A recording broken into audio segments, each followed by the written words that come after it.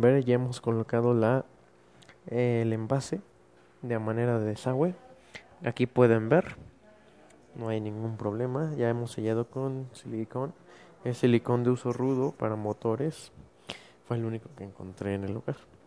Y aquí en medio tenemos una tenemos la islita donde pueden caer nuestras lombrices.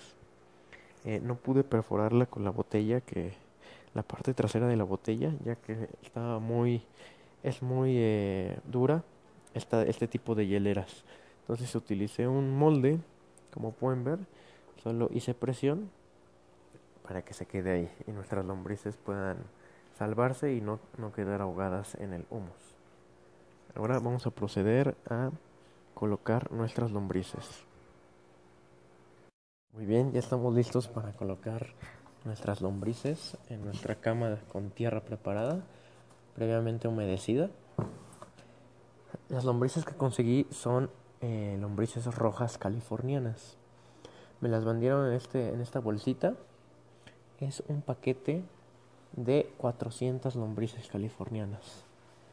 Como pueden ver, a simple vista no se alcanza a apreciar que exista alguna ya que ellas no, no les gusta la luz del sol. Entonces, si al momento de abrir un poco esto, notaremos la gran cantidad de lombrices que hay allá adentro.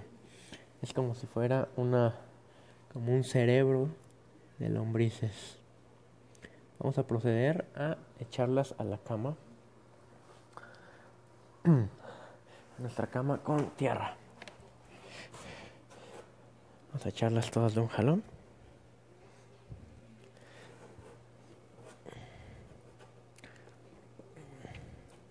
A ver, no se quiere dejar esta cosa. Ahí va.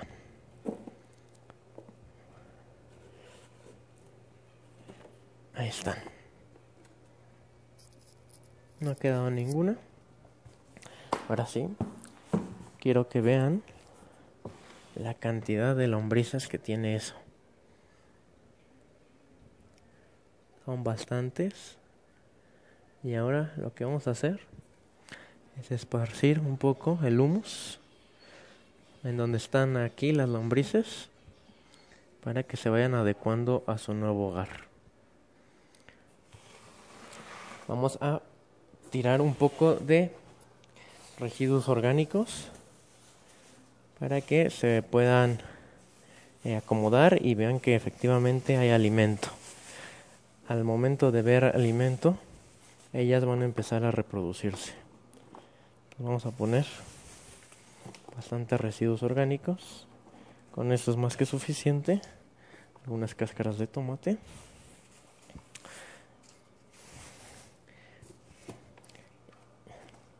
Y listo. Vamos a taparlas con otra pequeña capa de tierra, de manera que eh, nuestros residuos orgánicos queden enterrados y ellas puedan, puedan subir un poco a, empezar a, a digerir todo esto. Muy bien, vamos a rellenar con tierra preparada para que las lombrices entren en confianza en su nuevo hogar y no haya ningún problema.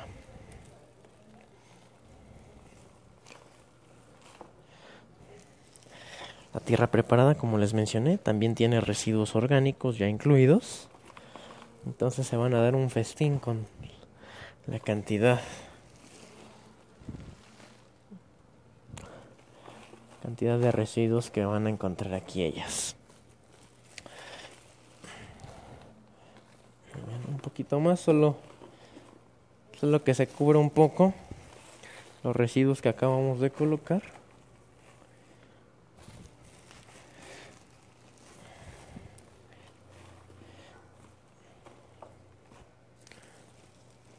Cualquier manera, como esta tierra tiene residuos, también se va a convertir poco a poco en humus del hombre. Ok, ya con eso es suficiente.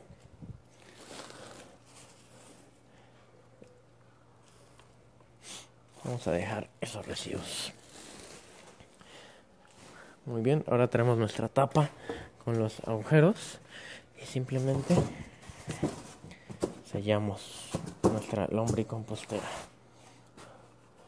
Ahora vamos a apilar esta lombricompostera ya con las lombrices dentro en la hielera en donde tenemos nuestro desagüe.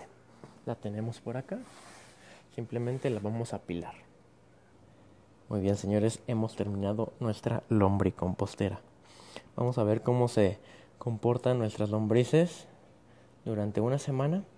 Vamos a ir agregando poco a poco los residuos orgánicos que genere nuestra cocina, de manera que ellas se vayan sintiendo a gusto y vean la cantidad de comida que tienen y se reproduzcan.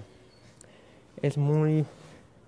Eh, es, es interesante saber que las lombrices se reproducen de acuerdo al espacio que tienen. En el momento en que haya suficientes lombrices y suficiente alimento, se van a dejar de reproducir. Para que, pues con el espacio que tienen, creen el humus de lombriz adecuado al, al, espacio y al, a la cantidad de alimento. En esta de abajo vamos a tener nuestro humus de lombriz líquido. Y aquí en la tapa rosca vamos a abrirla. Una vez de que una vez de que seque bien el pegamento, vamos a colocar la tapa rosca. Y ya cuando esté lleno, vamos a abrirla para recibir nuestro humus de lombriz líquido, que va a ser una maravilla. Estén al pendiente para que yo les estaré actualizando de cómo va funcionando esto y les iré haciendo videos. Sería todo por mi parte, espero les haya gustado y que estén muy bien.